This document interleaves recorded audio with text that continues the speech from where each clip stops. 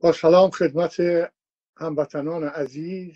عرض کنم که امروز 13 آبان 13 آبان روز بسیار مهمی در تاریخ معاصر ایران و شاید تعیین کننده ترین روز است در حیات جمهوری اسلامی و در مبارزات مردم ایران اشتباهات بزرگی که در این روز بسیاری مرتکب شدند کار رو به بدبختی های امروز رسوندی که ما می‌بینیم. یکی از مفاخر ایران دکتر تابنده در دهه صد سالگی این حقوقدان برجسته رهبر اخلاقی محترم و شناخته شده آزادی خواه در اعتصاب غذا هستن به خاطر محدودیت ها و آزارهایی که این خانواده خودش دوستانش مریدانش در سالهای گذشته هدفش قرار گرفتن و دست از جان این پیرمرد نمی‌کشند و این چیز غریبیه که این مرد رو به اعتصاب غذا در این سن مجبور کردن. این آدم معلم ماست و نسبت به بسیاری از وکلا پدر مقام در روزهایی که نسرین ستوده زن جوان و شجاع و دلاور و باعث افتخار وکلای ایرانی مادر دو بچه دو فرزند کوچک در زندانه. من عرض کنم حضورتون که به هر دو اینها سلام میرسونم. سلام میرسونم به خانم گیتی پورفاضل همکلاس عزیزم همکار عزیزم که همراه اون 28 نفری که 14 تا 14 تا امضا کردن همراه خانم ها دستگیر شده و خبردار هستیم که از اون گروه اول آقای هاشم خواستار شدیدا تحت فشار و احتمالا او را هم مجبور به اعتصاب غذا خواهند کرد و شرایط بسیار بسیار سخت و سنگینی این روزگاری که ما دوچارش هستیم. روز سیزده آبان روز معلم روز دانش آموز ببخشید و روز مبارزه با استکبار جهانیه. روز دانش آموز من خوشحالم. یکی از دانش آموزان شهرستان ساری همشهری عزیزم به جای فرزندان ماست فرزند ماست از نظر سنی و من خانواده بسیار بسیار محترمشی می‌شناسم. اینها این جوون مخفیانه تحصیل کرد در ایران چون بهاییه. مظالمی که نسبت به خانواده این آدم در شهر ساری مرتکب شدن من درست در جریانشم و می‌دونم که پدرش رو که کارمند دولت بود اخراج کردن وانت بار خرید بارکشی می‌کرد پدر اینا رو بزرگ می‌کرد و ناگزیر بود غالب ایام پدر بهایی چون فعالیت های انجمن خودشون رو درش مداخله داشت ناگزیر بود زندگی مخفی داشته باشه. در هر حال این جوون که به اتهام بهاییگری ناچار شد که تحصیلات خودش رو مخفیانه انجام بده و فارغ و تحصیل مدرسه عالی آموزشی بهایی ایران هست. سال 2000 رفته آمریکا در اونجا در پرینستون اولا تحصیلات خوش در فیزیک ادامه داده در ایران مهندس امران شده در ارز کنم دانشکده های زیرزمینی بهایی ها. و در آمریکا هم در پرینستون فیزیک خونده. بعد در همونجا محقق شده و به هر حال عضو یک گروه بسیار بزرگ و مهمی در دستگاه گوگل است که یک کار عظیمی کردن در فیزیک کوانتومی که من خیلی خوب نمی‌تونم شرح بدم من حتی ایشون که شرح می‌داد که چی کار کردن رو خیلی درست متوجه شدم. ولی متوجه شدم که کاربرد کامپیوتر رو ده ها هزار بار از حیث سرعت بالا بردن و یک انقلاب عظیمی در این مسئله اتفاق افتادی که به علم کمک بسیار خواهد کرد. من به این همشهریم به همشهریانم به هموطنانم به باهایا عرض شادباش و تبریک دارم در این روزهای سیاه. این خبر خوبیه که دانش آموز مخفیانه تحصیل کرد به یک همچین مقام علمی رسید عضو گروه پژوهشگران گوگل و در ساختن کامپیوتری کار می‌کنه که سرعتش هزارها بار سریعتر از کامپیوترهای فعلیه. در همین روزگار می‌بینیم که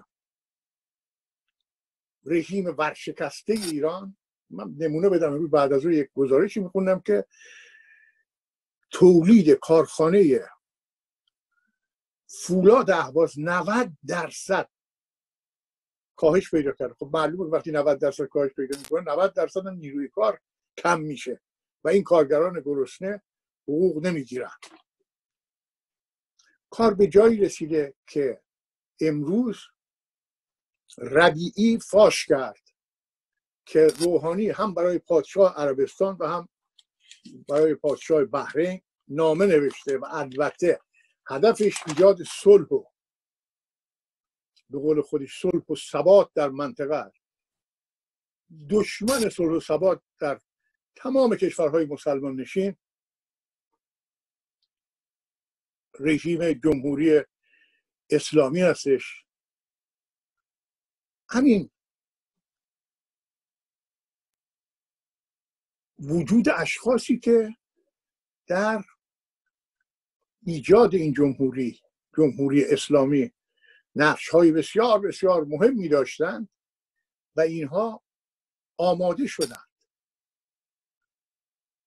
که از خودشون انتقاد بکنن و با شجاعت و شهامت در مقابل مردم ایران اعلام بکنن که ولایت فقیه عین جمله دارن می‌کنن عمود خیمه ظلم به مردم در چهل سال گذشته بودن نظریه, نظریه مبتنی بر تحقیر انسان. نظریه که در آن انسان همیشه نابالغ است و هرگز از نظر عقلی به بلوغ نمی‌رسد. این حرفای من نیستش که چه می‌دونم ناگزی شما از دست آخونده برای اینکه کار دکالتی عادی رو انجام دادم ناچار شدم از کشور خارج بشم. نه حرف کسی هستش که با جان و دل برای رژیم کار کرده. حرف آقای قدیانیه.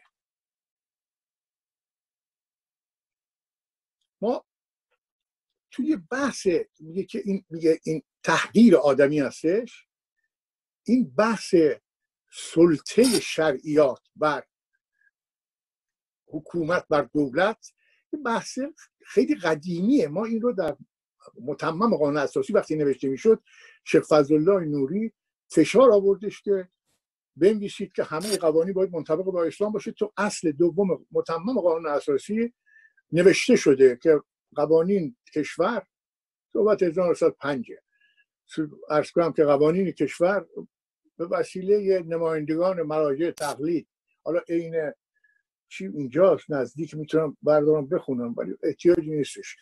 ارز کنم که اصل دوم متمم قانون اساسی میگه که نمایندگان یا مراجع تقلید باید نظارت بکنن بر مصوبات مجلس مجلسین که خلاف قانون خلاف شرع نباشه. جالب این هستش که بین آخوندا اسم این اصل گذاشتن اصل نوری. می‌دونیم هممون می‌دونیم. الله نور سماوات و الارض و ضمنا نماینده خدا شیخ الله نوری بوده. این رو هم به اعتبار اون آیه قرآنی و هم به اعتبار شیخ الله میشون گفتن اصل نوری. و این اصل نوری باعث شد که شیخ الله در مقابل اراده مردم ایستاد او رو وقتی محاکمه می‌کردن شیخ زنجانی محاکمش می‌کرد. که از اولین محاکمات عرفی ایران بود که البته قابل مقایسه با محاکمات عرفی بعدی نبودش. ولی به هر حال اولین بار بودش که یه هیئتی رسیدگی می‌کرد نه یک آخوند تنها. و آقای زنجانی در اونجا داستان وجود داشت آقای زنجانی حاکم بودش قاضی بودش و اشخاصی در اونجا مستشار بودن. در هر حال شیخ فضلالله وقتی بهش میگم چه جنایاتی کردی داستان خیلی جواب زیاد نمیده. حتی یه جمله میگه. این جمله من یادداشت کردم. همینجا مقابلم مطابق شهر تشخیص دادم پیروی و عمل نمودم. همین. میگه من به شما جواب بدم. من خودم تشخیص میدم خودم هم عمل می‌کنم. خمینی به همین عمل این شیخ شیخ نوری اصل نوری استناد می‌کنه میگه مرحوم شیخ فضلالله ایستاد که مشروطه باید مشروعه باشد باید قوانین مطابق اسلام باشد. یک نفر روحانی نما او را محاکمه کرد در مقابل جمع به دار کشیدن. این همین کار رو خمینی با ما وکلای ایرانی کرد. که من صحبت آقای دکتر تابنده رو می‌کنم فکر می‌کنم دکتر تابنده اون موقع جزء اعضای هیئت مدیره کانون وکلا بودن. فکر می‌کنم که اون روزایی که رفته بودن به سراغ خمینی احتمالا ایشون هم بودن. که گفتن دادگستری باید از شهر اسلام استفاده کنند و بلا فاصله بلا فاصله اعضای کانون وکلا آمدن بلا فاصله همون روز به خمینی جواب دادن که اصل بر حاکمیت ملی است همون روز هم جواب دادن. روز هفت اسفند بود. و این باعث افتخار وکلا بود و ما وکلا بابت اون تا کنون بهاشو داریم پرداخت می‌کنیم. از جمله خانم گیتی پورفازل از جمله دکتر تابنده از جمله عرض کنم حضورتون همه وکلایی که تحت فشار قرار گرفتن کشته شدن فراری شدن. اینجا یه لیستی هستش که یکی از همکاران بزرگوار ما تهیه کرده. و در این لیست این که می‌بینید عکس خانم ستوده است که با دستبند ارز کنم که شوهرش رو در آغوش گرفته و در اینجا اسم فکر می‌کنم 120 120 تا یا شاید کمتر رو سب کنیم ببینم کم دقیقتر بهتون بگم 100 و ارز کنم 102 تا. و وکلایی که اخراج کردن کشتن زندانی کردن. و انواع اقسام رو نوشتم و به اضافه دو تا لیست هستش که ارز کنم یکیش و هفت تا یکی دیگه هم دو تا از وکلا هستن که اخراج شدن از کانون به وسیله آخوندها. و ما قیمت اون ایستادگی رو داریم میدیم. اینی که الان ما اینجا تهیه کردیم خانم بزرگوار حبشی خانم منیژه حبشی تهیه کردن. شاید نشون دهنده به نظر من مثلا ده درصد تصفیه هایی بود که علیه وکلا انجام گرفتی چون ماها چنین امکانی نداریم و من خوشحال میشم اگر همکارانی که صدای منو میشنوند بتونن کمک کنن و بفرستن به میهن تیوی یا بفرستن به نشانه خودم اسامی بقیه وکلا رو چون این مهمه که باقی بمونه در تاریخ. یه نوع مقاومتی. در هر حال این بساط آخوندی که در کشور ما راه افتاده یه بساط خیلی قدیمی و تاریخی و اینا نیست. برای اینکه فکر می‌کنم فکر می‌کنم که سال هزار و سیصد هزار آره در سال هزار سیصد سیصد یک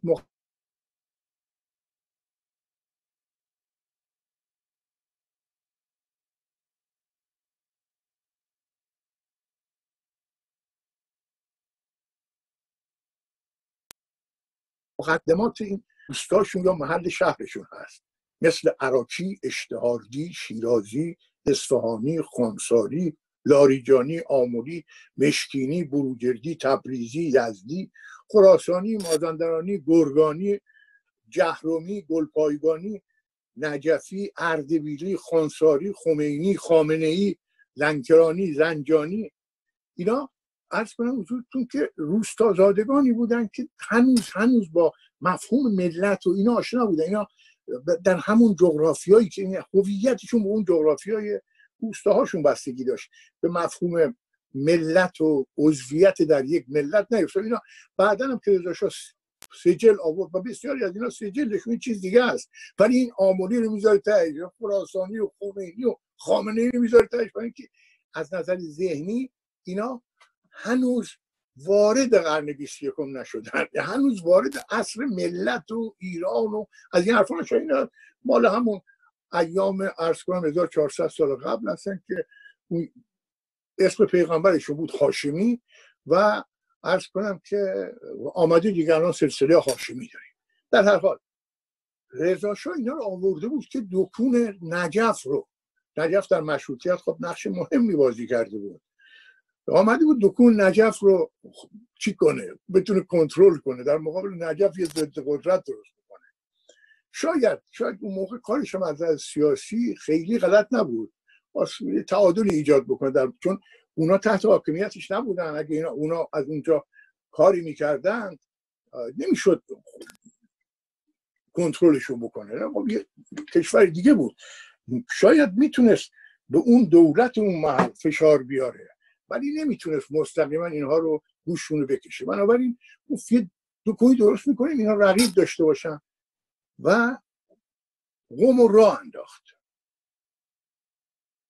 اما وقتی قوم رو انداخت چهار پنج سال بعدش فکر می‌کنم سال شاید نوروز سال 1905 یا 1906 بود که زن و بچه رضا شاه رفتن برای زیارت. در نوروز رفتن زیارت عرض کنم که به قوم رفتن برای زیارت.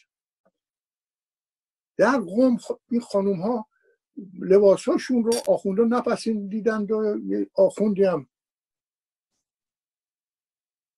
که شیخ بافقی یزدی مال بافق. نزدیک یارو هم اسم دهش داشت هم اسمش شهرش گذاشته بود. آخون بافقی یزدی اعتراض کرد احتمالا حتی کی هم کرد نسبت به خانوم ها نسبت به بچه های اینا. وقتی به رضا شاه اطلاع دادن رضا شاه آمد شهر و محاصره نظامی کرد. خودش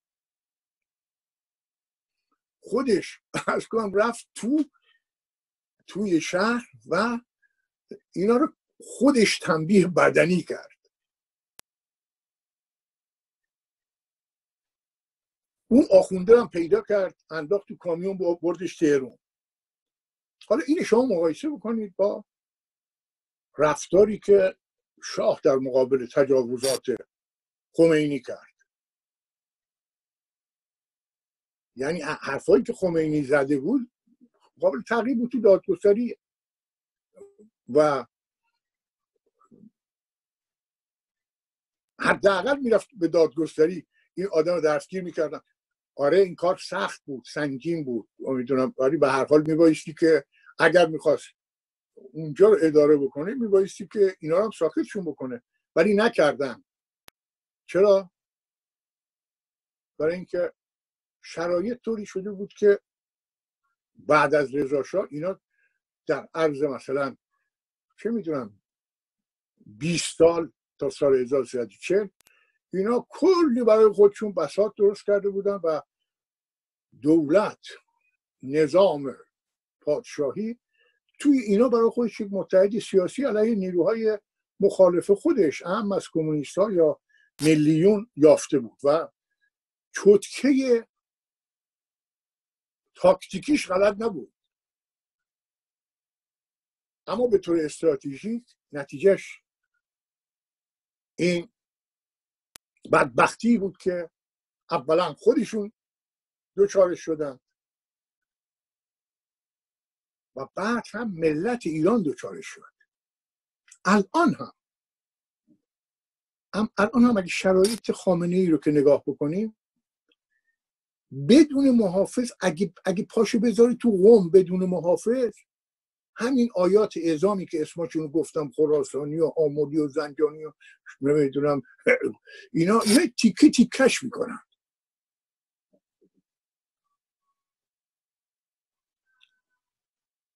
برای اینکه علاوه بر خود اینا مفهوم تقدس تشیع رو کاملا اینا تونستن نابود بکنن. ببینید به هر حال ما که عرض کنم چه می‌دونم بهار گذشته به دنیا نیومدیم که امام زمان اسم امام زمانی میبردن ما که مدرسه بودیم از جامون بلند می‌شد اگه بلند نمی‌شدیم خیلی بد بود. گناه خیلی بزرگی بود. از جامون بلند میشه وقتی اسم اسم امام دوازدهم می‌گفتن بلند می‌شدیم. چون ایشون همه جا حی حاضر بود دیگه.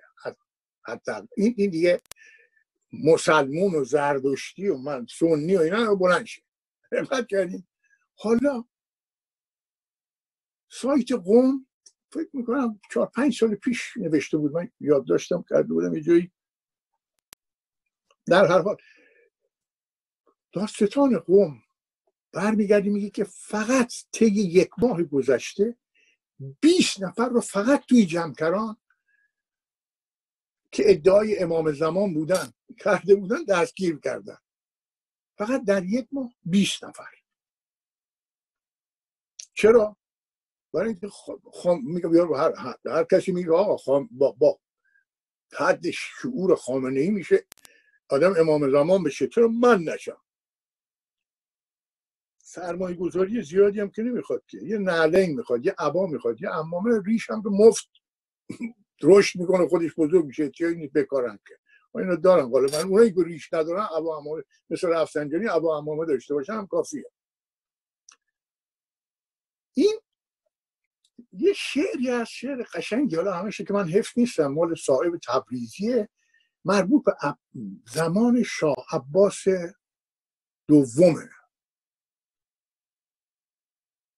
که آخونده در زمان مجلسی اون موقع که آخونده دیگه تمام دستگاه صفویه رو گرفته بودن و تمامشون آخون بازی در می آوردن گفت کار با امامه و قطر شکم افتاده است. این صاحب تبریزی گفت.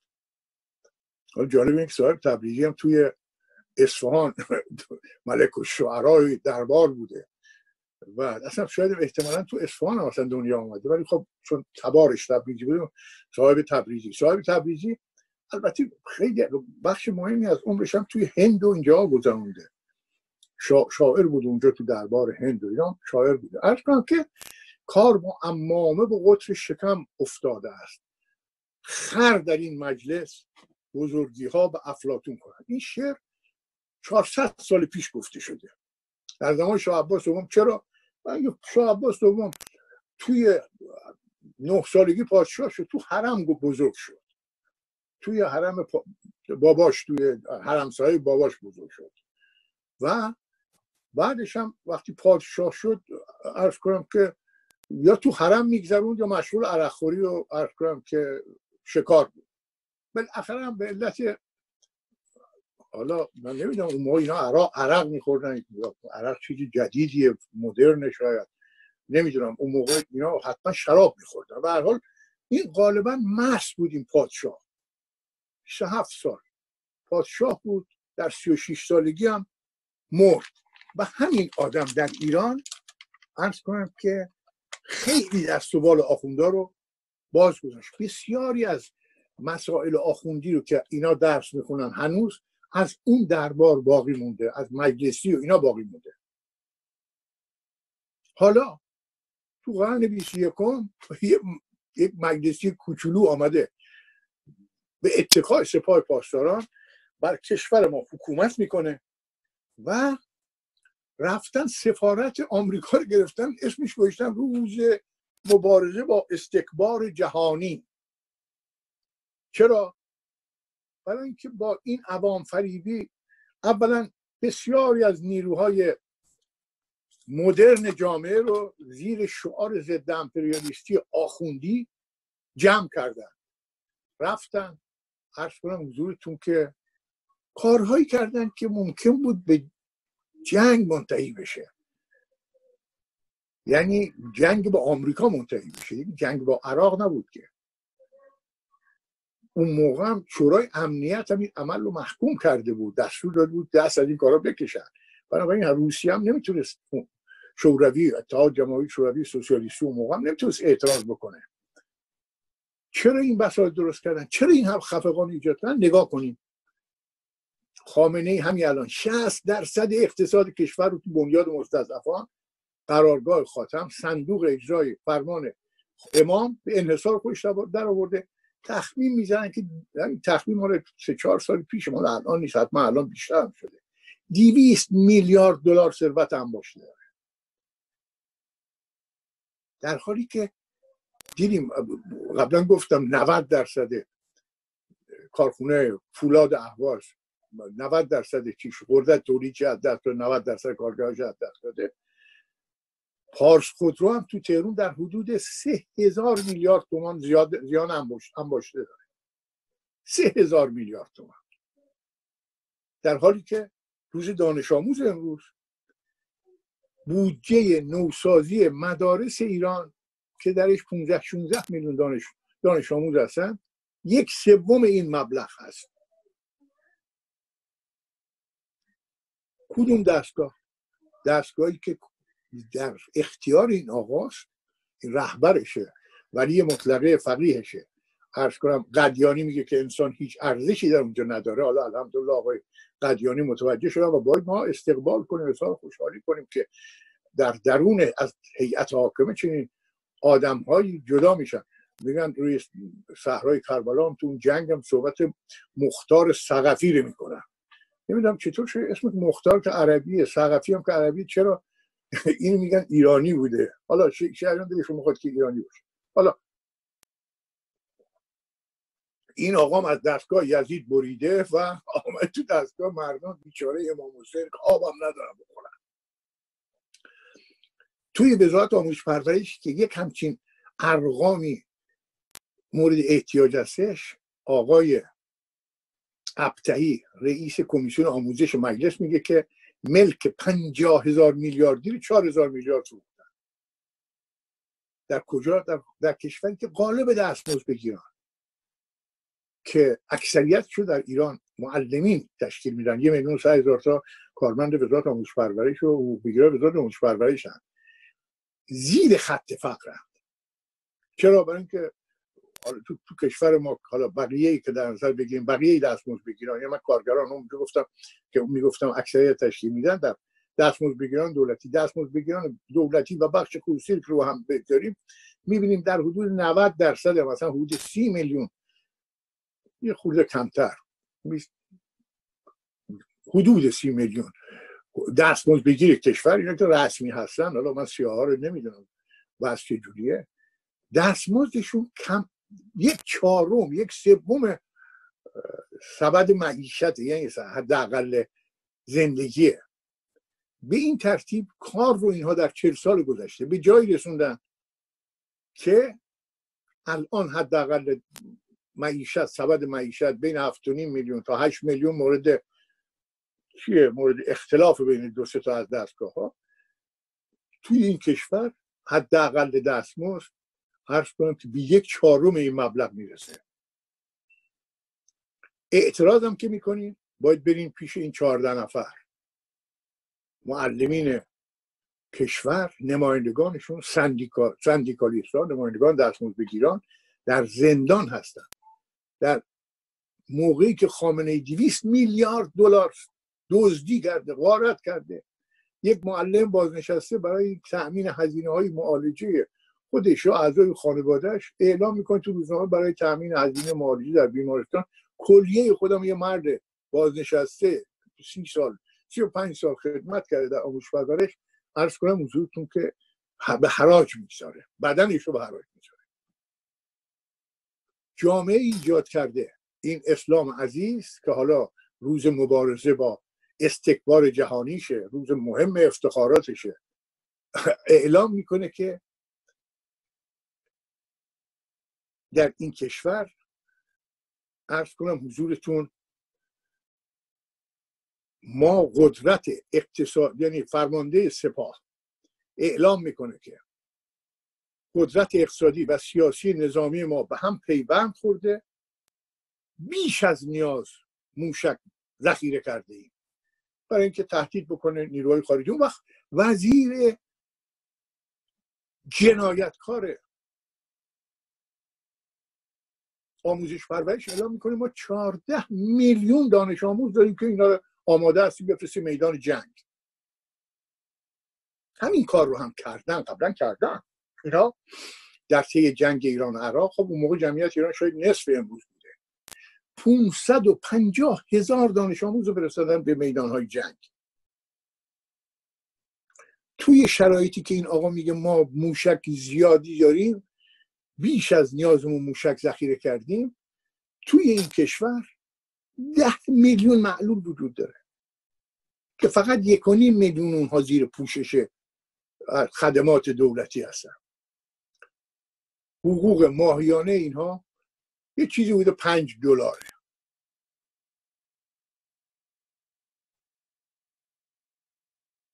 و بعد هم برای استمرار این دستگاه می‌کشن این آقای جاوید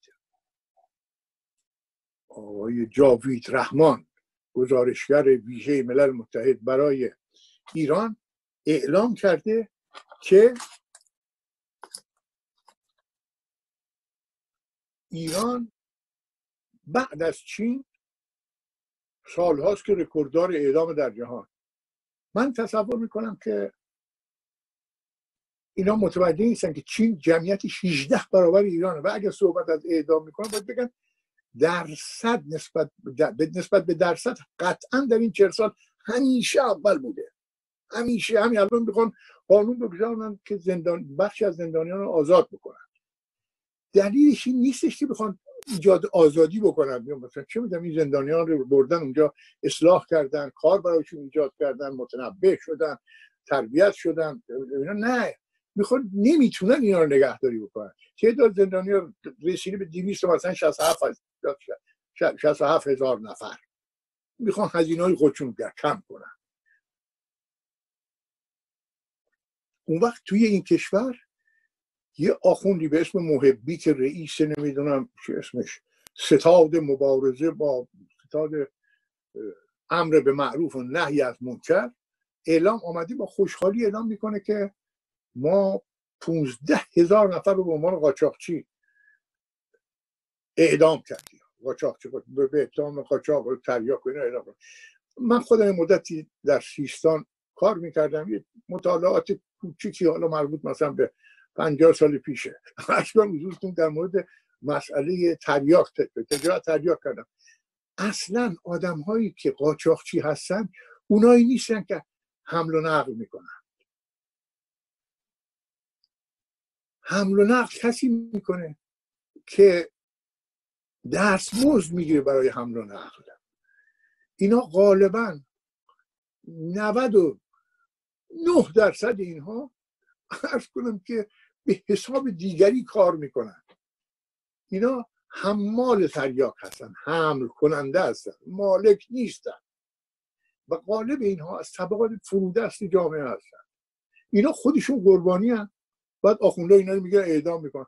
خود آخونده خود سپاه پاسداران در همین کارا دست. اون موقع هم که من در سیستان مطالعه می‌کردم تریاک فروش های بزرگ سیستان رو اصلا به نام مردم میشناختن. فلان کس توی کسب و تجارت سرمایه گذاری در تریاکه و تازه اینا جمع می‌شدن اون موقع ها. ارز کنم که صحبت از تانکر بود صحبت از کاروان های شطور بود که شبا حرکت می‌کردن. و من که اونجا چه می‌دونم افسر افسر بودم تو اصلاح ارزی افسر ترویج آبادی بودم تو اصلاح ارزی کار می‌کردم. تو شهر مردم و مالکین رو نمی‌دونم اینا رو میشناختم. یه تعدادی از مردم میشناختم. من با مثلا چه هفتش ماه کار در اونجا غالب این ثروتمندا و خوانین و اینایی رو که در امر تریاک سرمایه گذاری می‌کردم من میشناختم. نه محلی بودم نه نمی‌دونم آدم خیلی قابل اعتبار یه افسر افسر یه شهر دیگه آمده بودم. کسی من نمیشتم من با همین کنجکاوی کوچیکی که خدا بیامرزی آقای بود اسم آقای سرابندی خیلی مرد بزرگواری بود مرد فهمیده ای بود بسیار دانشمند بود خوب سیستان رو کف دستش میشناخت کارشناس پادگستری بود. و میشست برای من صحبت می‌کرد من یادداشت می‌کردم. این راحت من میگه فلانی مثلا من میگم که تریاک چجوریه چجوری مثلا تریاک میاد تریاک میره؟ اولا خیلی راحت من میگه میورد خونه آقا های عرض کنم که شیر کشخونه ها و اون جایی تریاک میکشیدن و اون جایی که عرض کنم هشیش میکشیدن چیزایی هم میخوردن اسمش فراموش کردم. حالا من می‌برد اصلا نشون می‌داد آقا این آقا رو می‌بینی آقا شغلش این هستش که؟ ارز کنم که هزار معجون یه چیزی بوده چیز سفید و من نمیم چیزایی میریختن توش اینم که هزار معجون میفروشه. و ما من میشناختم چطور حکومت نمی‌شناسه. حکومت بهتر از ما می‌شناسه کیه به کیه. و مردمی که کشتند در این مدت به عنوان قاچاق که 15 هزار میگن هستن اینا غالبا توهیدستان جامعه ما هستند که به وسیله سرمایدارا مورد سو استفاده قرار می‌گیرن. حالا یه قدمی که گفته بلافاصله اسماعیلی سخنگوی وزارت دادگستری اسلامی سخنگوی قوه قضاییه شاید میگم دادگستری قوه قضاییه به هر حال عرض که آمده اعلام کرده که این ارقام رو نمیشه گفت. اعتراض کرده. این ارقام عین جملهش این ارقام قابل انتشار نیست. چرا؟ برای معلوم نباید فقط چقدر اینا کشتن. خود من با یه حقوقدانی که مسائل حقوق بشری در ایران تعریف می‌کنه صحبت کردم. به من گفت قطعا چی هم داد؟ تقریبا یه خورده جزئیاتش هم گفت که چرا این ارقام رو بهش ارقام قطعیه. این میگه که چون خودش مخالف مجازات اعدام اصلا تهیه می‌کنه اینا میگه که اعدام های اعلام شده و اعلام نشده حداقل در روز سه تاست. یعنی اینها در مدت چهل سال گذشته هر روز حداقل سه نفر رو کشتند. چرا من میگم این قاتلن؟ چرا؟ برای اینکه اصول ساده حقوقی که تو حقوق خودشون نوشته رعایت نکردن. قاضی که این حکم میده عنوان قاضی نداره و اینکه حقوق طرف مراعات نشده. وکیل ندارن نداشتن ندارم مگه در قتل عام های سال 67 یه دونه از اینا وکیل داشت؟ نه. و اینا همه قتل محسوب میشه. و حالا فرمانده قاتلین هم مثل که خودش داره آماده می‌کنه که چی بشه. عرض کنم که نایب امام بشه. چی میگن؟ مقام رهبری بشه. در هر حال. این دزدی ها و جنایاتی که اینا می‌کنن تاثیرات مستقیمی داره در تاسیسات اجتماعی در ساختار شهری حتی در ساختار کشور.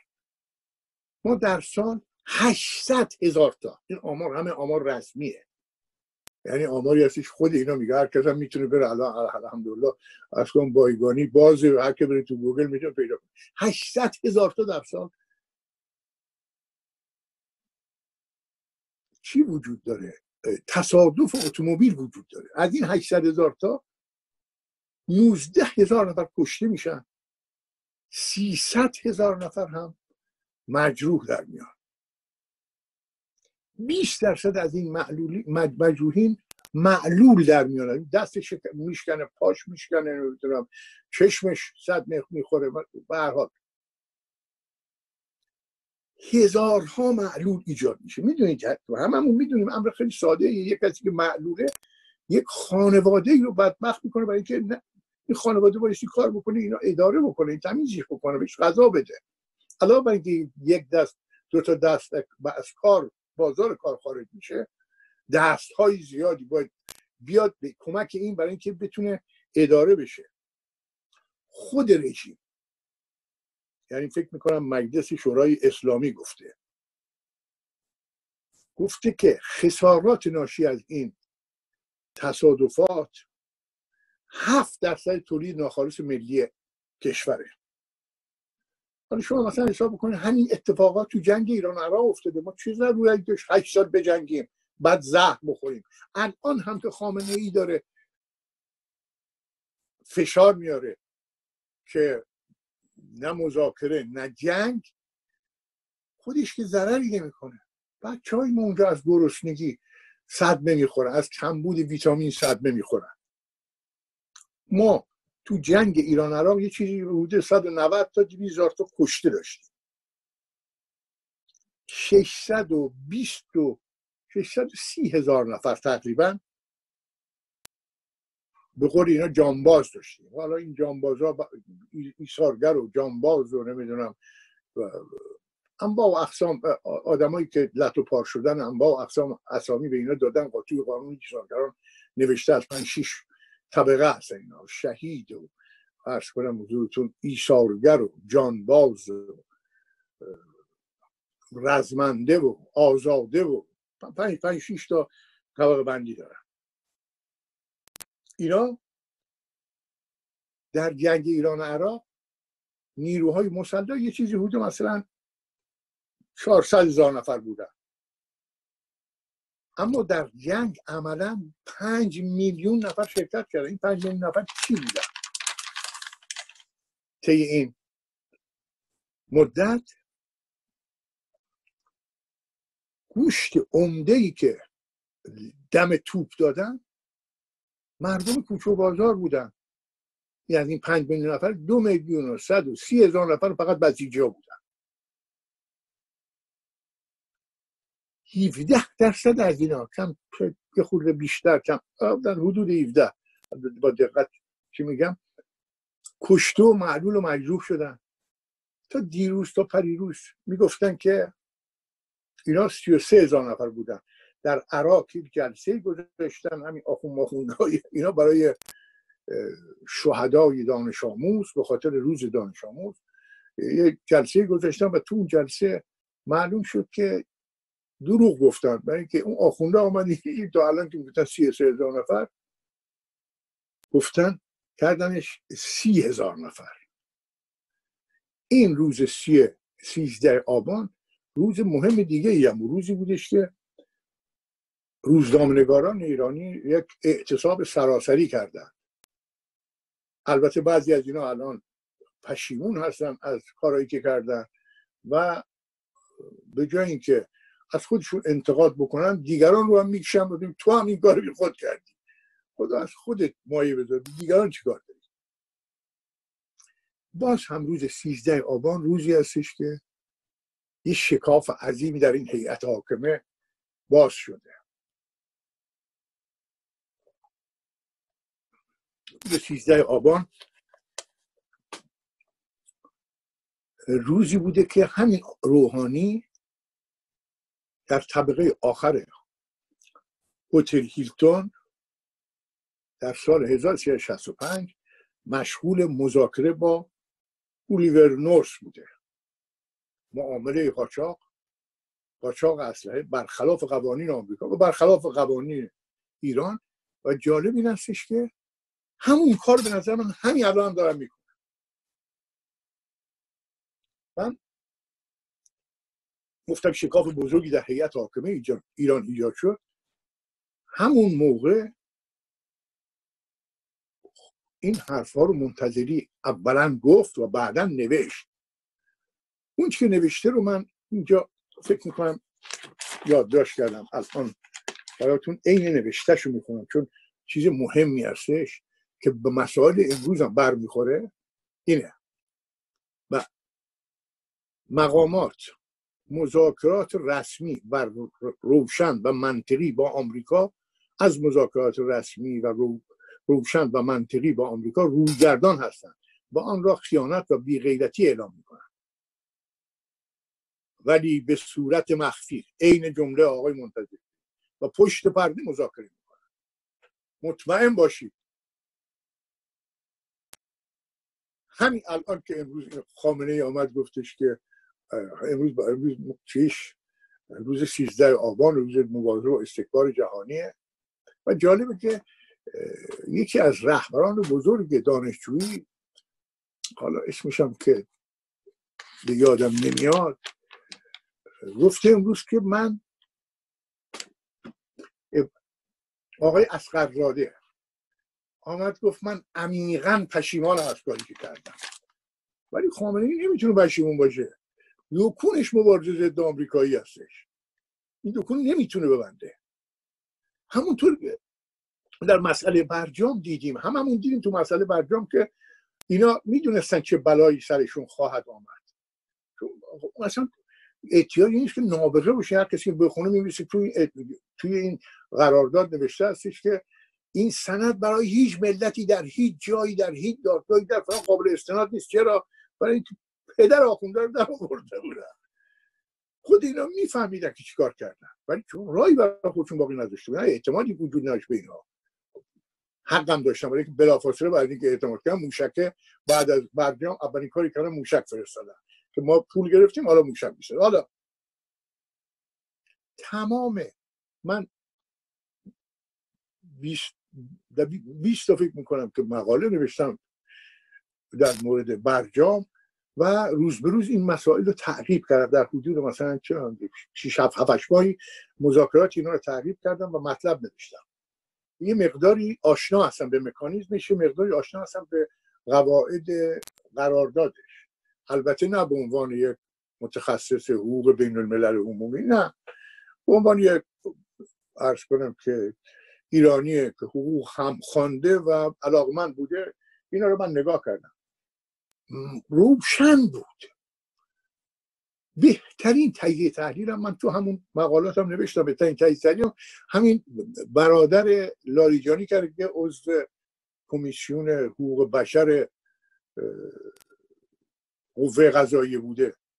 خیلی تحقیق خودش که بلد نیست دکتر فیزیکه. ارز کنم که در اونجا حقوقدانانی بودن که آمدن براش نوشتن و بهترین تحلیل ها رو کردن. گفتن آقا این پدر ما رو در آوردن. واقعا پدرشون در آوردن.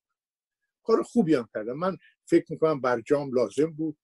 آخون به حاکمیت ملی ما این قرارداد لطمه زد ولی اگه آخون دست به دست به بمب اتم پیدا می‌کرد دست به بمب اتم می‌برد مملکت ما ناب... کلش نابود می‌شد. در هر حال برجام به نفع مردم ایران ولی در نتیجه ولی به ضرر حاکمیت آخوندی بود. همین الان که می‌بینیم این بدبختی ها معلوم بود که اینها عرض کنم که اسیر این قرارداد هستن و این قرارداد رو اینها همین الان همونجور که آقای منتظری گفت باز جملهشو می‌خونم. به صورت مخفی و پشت پرده مذاکره می‌کنن و مطمئن باشید که مذاکره می‌کنن.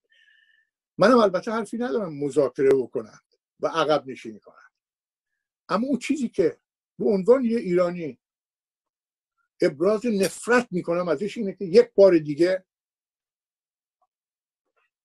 غربی ها و در رأس اون آمریکا فشار حد اکثری رو برای معامله با آخونده. به کار می‌بره. برای اینکه این خلاف عین همون کارهایی هستش که قبلا کردن عین کارهای اولیور نورس رو نمی‌دونم این قبیل آدما هست. و این کارها صدمه می‌زنه به کل روابط بین المللی الان که اینها توشون دعواهای شدیدی هست روی همین قرارداد پولشویی این جمله های ظریف تو مجلسه که میگه که ده ها هزار میلیارد تومان ارز کنم که اگر این قانون تصویب بشه به منافع ده ها هزار میلیاردی اشخاص لطمه می‌خوره. عین جملهش نوشتم. همین امروز بود. روز بود. دیروز بود. دیروز بود. در مجلس. بلبل زبانی کرد که منافع ده ها هزار میلیاردی دلیل فضاسازی علیه قوانین پولشویی است.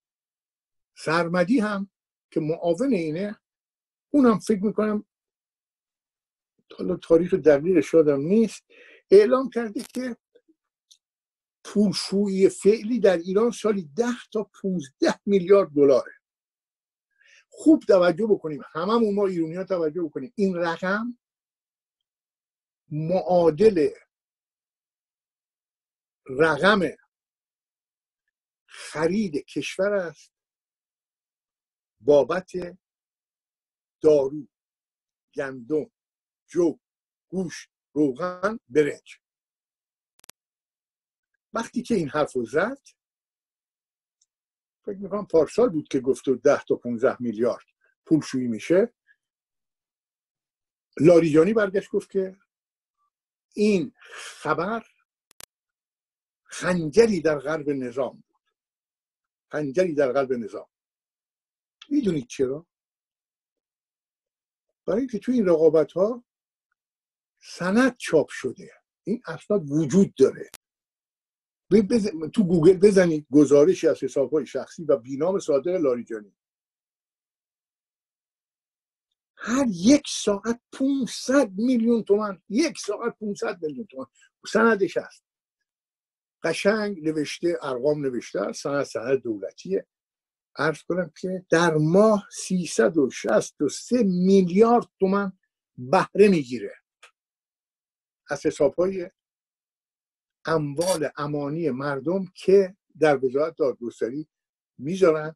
اینا می‌ذارن نزول 24 5 درصد 30 درصد از این حرفا می‌گیرن که روزیش میشه. چون من یکی از اینا حساب کرده گفته بود که در ماه 363 میلیارد تومن میشه. و وقتی چی بکنید؟ به ساعت بیارید ماه رو به ساعت بیارید می‌بینید ساعتی میشه یه 500 میلیون تومن این ارقامی نیستش که من میگم.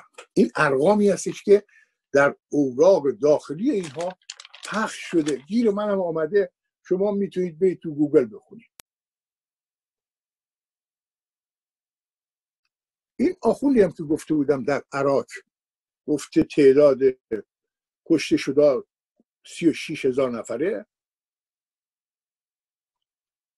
این دانش آموزانی رو که بعدا هم اینها به معمولیت های دیگه ای فرستادن رو هم فکر می‌کنم حساب کرده. اینو بایستی من اضافه بکنم. برای اینکه صحبت از یک جوانی از اهالی استان مرکزی می‌کنه شهید محمد حاجی زلفقاری که در دفاع از حرم در سامرا در بهمن 93 شهید شده. آدم میفرستن به سامرا برای عرض کنم حضورتون دفاع از حرم و این آدما بعد بخشی از این آدما دانش آموزا هستن. وقتی که جمعیت استان مرکزی رو می‌بینی با افتخار میگه ما هزار تا دانش آموز شهید داشتیم. الان تعداد الان جمعیت این استان هست یه میلیون 500 هزار تا. قطعا در زمان جنگ یعنی سی سال پیش نصفش بوده سال پنجاه هزار تا بوده. هزار تا اینا از بین دانش آموزا کشته داشتن بقیه رو عرض کنم که نمی‌تونم استان کرمان شهر کرمان به تنهایی در زمان جنگ 1600 دانش آموز کشته داشت به چه دلیل معلمین ما در زندان؟ به خاطر با این قبیل سیاست ها با این قبیل سوء استفاده ها از دانش آموزان مقابله می‌کنند. از جمله با چیزهایی که مقابله می‌کنن این معلمین حال روز دانش آموز هم که هست ارز کنم حضورتون که این هستش که به اندازه کافی میز و صندلی و معلم و محل کار و اینها به محل تحصیل وجود نداره در کشور. توی سیستان و بلوچستان نماینده زاهدان تو مجلس آمده گفته 127 هزار دانش آموز از تحصیل باز مانده. مگه جمعیت بلوچستان چقدره؟ سیستان و بلوچستان جمعیتش کمتر از سه میلیون نفره. مگه از این سه میلیون نفر چند نفر در سن 6 تا 18 سالگی هستن که دانش آموز محسوب بشن تا اینا. 127 هزار نفر از اینا جا پیدا نکردن. به دلیل کمبودها نتونستن برن تحصیل بکنن. اون وقت در تهران من دیدم فیلمش برام خیلی هم جالب بود. یه خانم جوانی که همسر دوم آقای حداد عادل چون همسر اولش در هنگام جراحی زیبایی از بین رفت. حالا یه خانم جوانتری پیدا کرده که جراحی حالا من دیده بودم نه صورتش دیده بودم. حالا ارز کنم نامحرمم بودم میرس چشم بگیره وقتی حرف میزن خب دیدم دیگه. همین که میگفتش که ما مدرسه درست کردیم؟ آ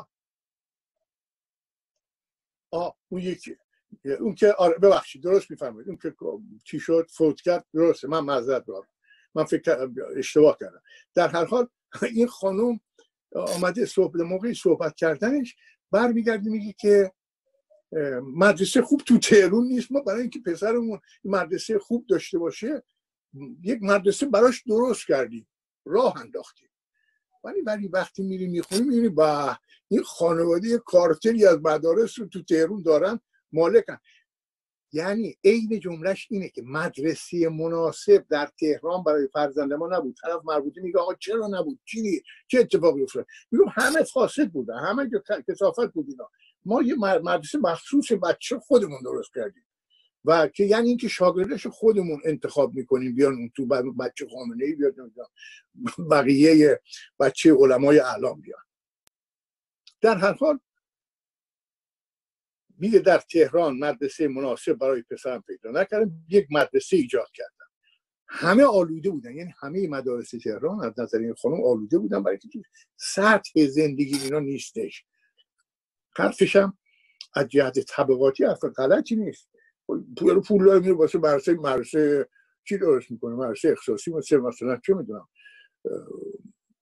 حالا برای آقای رضا پهلوی بالاخره مشکلات امنیتی هم وجود داشته نمی‌تونست بره تو هر مرسی. برای ایشون هم مثلا مرسی اختصاصی داشتن. ولی این که میگه در تهران مدرسه مناسب وجود نداشت. ممکنه بعضی از مقامات بچه هاشون رو یه جایی ناچارشون حس مردم نفرت دارن تیک پارهشون نکنن. انتقامی از بچه هاشون نکنن. ولی اینکه در تهران یک دونه مدرسه وجود نداشت که در استانداردش طوری باشه که این آقا پسر بتونه بره این معنای اینه که ما یک طبقه ای هستیم که بقیه مردم تهران چه می‌دونم شهر در دوازده میلیونی اینا تو سطحی نیستن که ما با اینا بشینیم. ما باید با خودمون یه مدرسه نمونه دار همه مدارس آلوده بودن. کجا این حرف زده میشه؟ در کشوری زده میشه که از اون معلولین جنگی که از اون آدمایی که تو جنگ 627 هزار نفر عرض کنم که معلول شدن زخمی شدن اینها یه تعدادشون الان زنده مونن بعد از سی سال. نمونه هایی از اینا هستش که مثلا توی خانواده دو تا سه تا معلول وجود داره. از جمله خانواده های دو معلولی به اینا میگن. آقای آدمی که در بهزیستی مسئول مسکن این هاست می‌دونید معلول به حال مسکن آدم معلول با مسکن من شما فرق می‌کنه. من با یه جوری باشه این بتونه نمی‌دونم بتونه خودشو بره بشوره بتونه بره دستشویی بتونه بیرون بره. به هر حال مسکن عادی نیستش. مسکن با متناسب وضع معلولیت شخص از کار افتادگی شخص باشه. توی سیزده آبانی حق مال امروزه. میگه چارده هزار دیویس خانواده با دو عضو معلول در سطح کشور نیازمند مسکن مناسب هستند.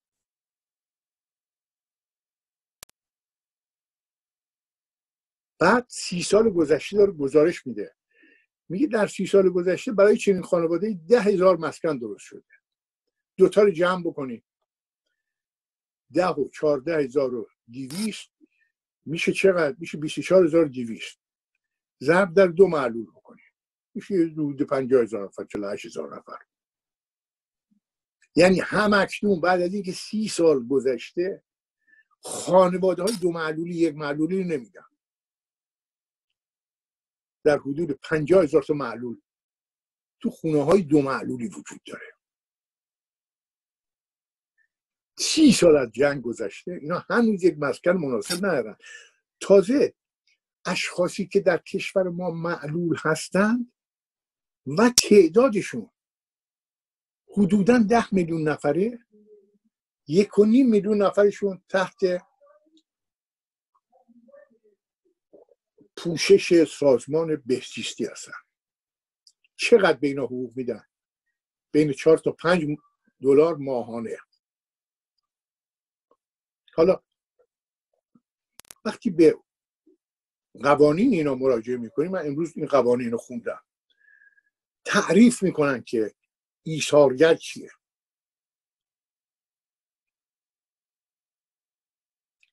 این تعریفش اینه. جانباز کسی است که سلامتی خود را در راه تکوین و شکوفایی و حفظ دستاوردهای انقلاب اسلامی و کیان جمهوری اسلامی و استقلال و تمامیت کشور از دست بدهد. اون وقت بعد اینا رو به شش طبقه تقسیم می‌کنن. شهید مفقود الاثر جانباز اسیر آزاد و رزمنده. ما فقط و فقط راجع به یک دستشون صحبت کردیم. یک جزئی از یک دستشون. یعنی خانواده دو معلولی صحبت کردیم. هنوز که هنوز سی سال گذشته ما بدبختی های ناشی از جنگ رو داریم.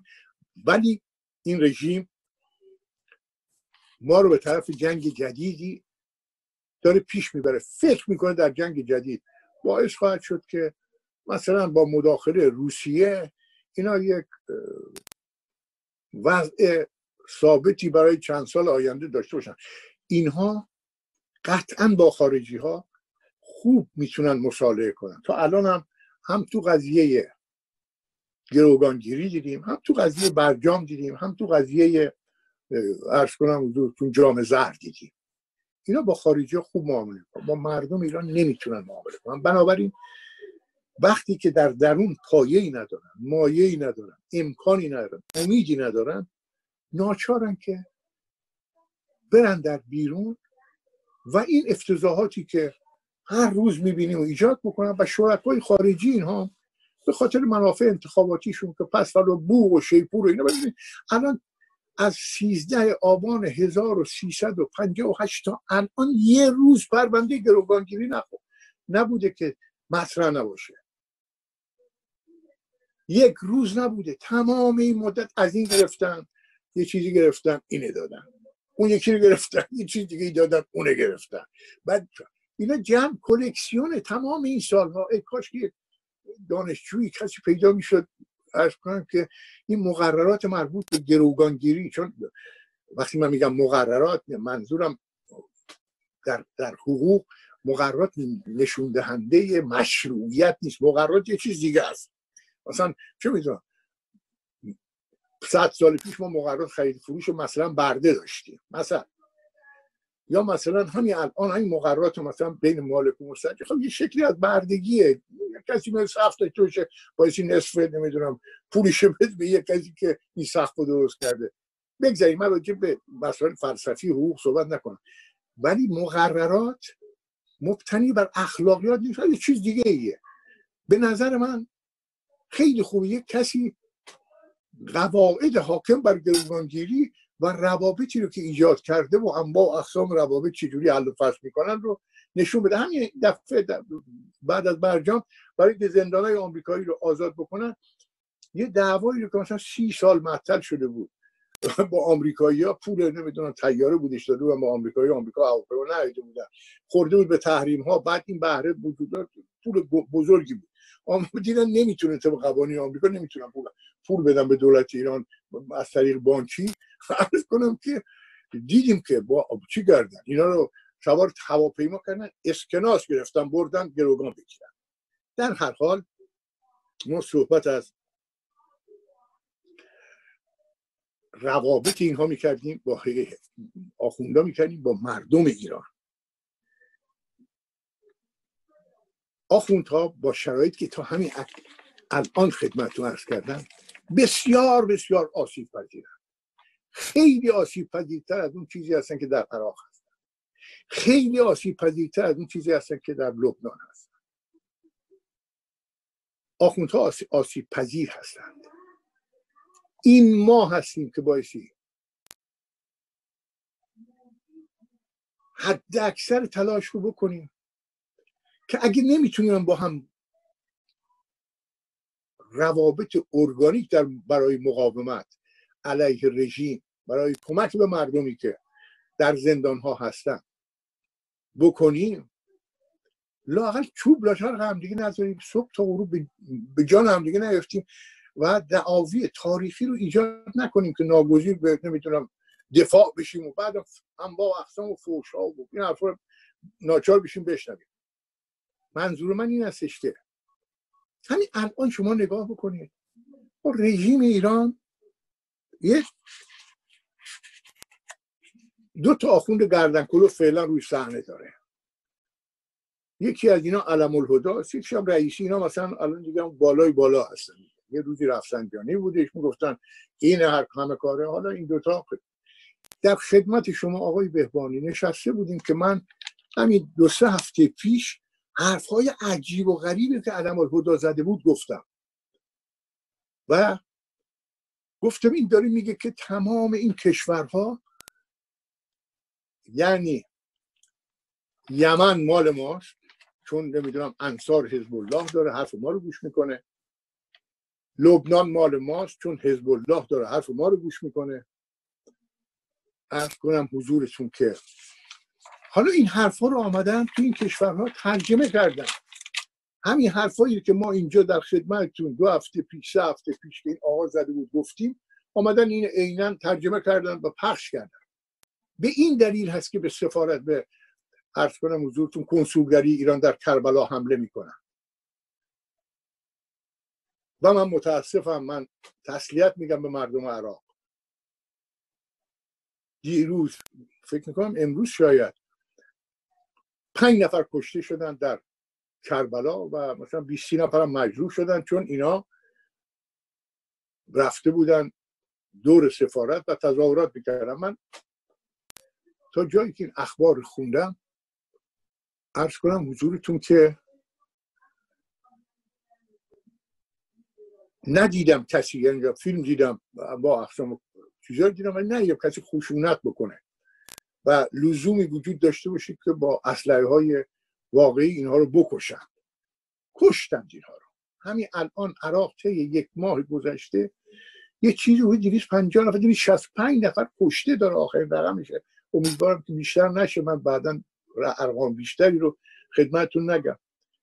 و اینها دیگه قابل به کنترل این مردم نیستن. بنابراین پایه های سیاست خارجی رژیم. اساس اقتدارش بود اینها داره زیر پاش میلرزه.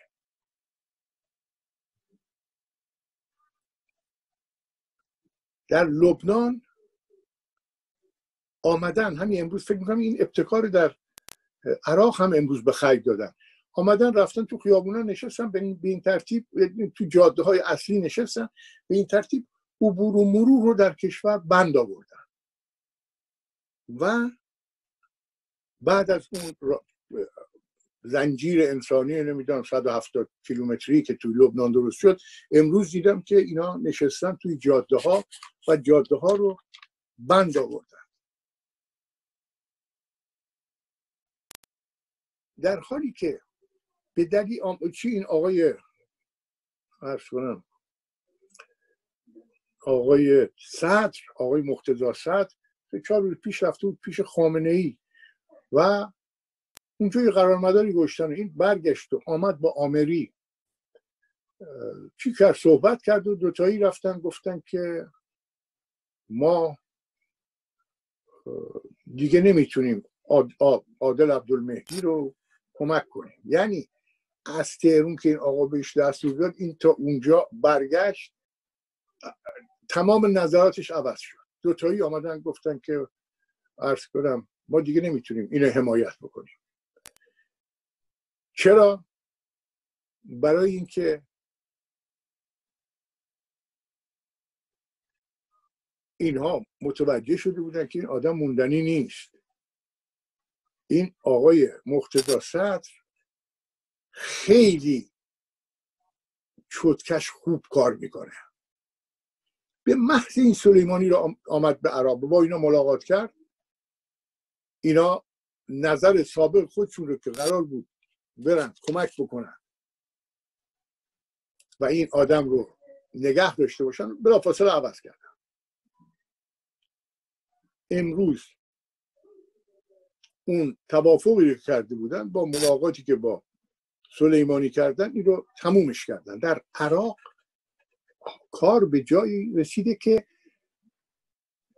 نهادهای مدنی کشور یعنی اتحادی ها وکلا پزشکان مهندسین از اقدامات بزرگی که در کشور میشه حمایت کردن. و هم در عراق هم در لبنان مدارس تعطیل شده. و آمدن اون جمله رو ارز کنم حضورتون که پیداش کردم. علم الهدا که یک ماه قبل گفته من تو برنامه شما گفته بودم تو برنامه امروز هشت شعبی عراق ایران است. بخشید امروز هشت شعبی عراق ایران است. حزب الله لبنان ایران است. انصار حزب الله یمن ایران است.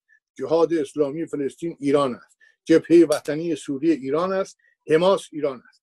عین این نوشتن ترجمه کردن نتیجهش نفرت عظیم مردم عراق و حمله به دستگاه ایناست. آخوندهایی که لشکرکشی اومده اون 18 میلیون نفر راه انداختیم بزرگترین آقای مصداقی هم به خوبی هفته گذشته در مورد اهمیت هم آقای مصداقی هم آقای اصلانی هر دوتاشون راجع به اهمیتی که رژیم اسلامی برای اربعین قائل هستش. و اینا صحبت کردن حرفشون کاملا درست بود. ولی این فشارها و خطر این فشارها طوری شد که همین امروز فکر می‌کنم حالا مقامی رو که این مطلب رو گفته رو من یه جای یادداشت کرده بودم از پیداش بکنم خوبه. همین امروز مقامات دولت ایران اعلام کردن که عین جمله است. کنسول گفته کنسول ایران در عراق. به اشخاصی که آمده بودن برای اربعین اینا گفته اولا نرین. اونایی هم که آمدن از ایران گفتن آقا دیگه کسی نباید بره. خب، این افراد باید زودتر به کشور بازگردن. یعنی اون لشکرکشی 18 میلیونی توی این گرسنگی و فقر مردم امروز ورشکستگی خودشون نشون داد و بیابروی خودشون در بدنه رژیم نشون میده. و من متاسفم واقعا متاسفم که جوانای عراقی توی این حوادث کشته میشن. که فقط امروز فکر می‌کنم گفتم که توی بغداد پنج نفر توی عرض کنم که نارامی های بغداد هم پنج نفر کشته شدن و اینکه در کربلا کشته شدن. و شعار اصلیشون هم اینه ایران برو بیرون ایران برو بیرون. به نظر من بهتر است که بگن آخوند برو بیرون چون ما با مردم عراق جبهه متحد داریم علیه ارتجاع در هر حال اوضاع در منطقه بسیار بسیار آشفته است. یک جایی نیستش که حداقل آرامش درش بشه. افغانستان بعد از این انتخابات نمی‌دونم حالا آمدن گفتن نمی‌دونم 86 هزار تا از آرا خوب نیستش باید انداخت کنار دوباره شروع کنم به خوندن آرا و همه منتظرن که آرا خونده بشه اختلافات جدیدی که تو نباید باشی من باید باشم دوباره اونجا. به نفع طالبان بخش های مختلفی که الان در حکومت هستن به جون هم دیگه بیفتن در ترکیه هم اقداماتی که اقدامات قهرمانانه آقای اردوغان با اون وحشیگری که نسبت به جوانان کرد کردن جسدشون رو پشت ماشین ها کشوندن در داخل کشور مشکلات عظیمی برای خودشون ایجاد کردن که من تصور نمی کنم که اردوغان از این قضیه بخوا... بتونه بتونه اون منافعی رو که در نظر داشته به دست بیاره. از جمله اینکه چون اوضاعش خوب نیست فکر می‌کنم به این دلیل آقای پوتین چوتکه انداخته که به این آدم دیگه اس 400 نده. اینم همین امروز اعلام شده. ضمنا قدم هایی رو که کاخ سفید برداشته رو این گروه کوچک گروه فکری کوچک ارز کنم حضورتون. دگرگام در اردیبهشت سال گذشته که مسئله تحریم عنوان شده بود یک اطلاعیه ای داده بود که من فکر می‌کنم شما همون رو چاپ کرده بود در میهن تیوی. گفته بود راه حل این نیست که مردم ایران گرسنگی بکشند و عرض کنم حضورتون صدمه بخورن در این مسئله ای که تحریمی که اتفاق افتاد. راه حل عبارت از که از اموال مردم ایران مقامات بین المللی کالاهای اساسی تهیه کنن بفرستن. به ایران همون کارهای سنتی قدیمی خرید و فروش انجام بشه. منتها در توضیحش مردم در ایران به خصوص مدارس شرکت داشته باشن که مدارس همه جا هستن معلمی می‌تونن. و متاسفانه به نظر می‌رسه که امتیازی رو از همون حرفایی که چیزا آقای منتظری زد. گفت میگن بی غیرتی بد میرن با هم می‌سازن. از همون کارا میشیم که انجام دادن و آمریکایی اعلام کردن. خبر بسیار بدیه. اعلام کردن که عین جملهشون بگم. ساز و کاری با بانک های سوئیس برای صادرات کالاهای انسان دوستانه و پزشکی به ایران ایجاد کردیم. این حرفی هستش که بخشیش رو گروه دگرگام پارسال در اردیبهشت گفته یعنی 17 18 ماه قبل گفته ولی گفت که اگر بدید دست خودشون تبدیل به بازار سیاه میشه. هیچ احتیاجی نیستش که حرف دگرگام رو کسی گوش بکنه. حرفای امروز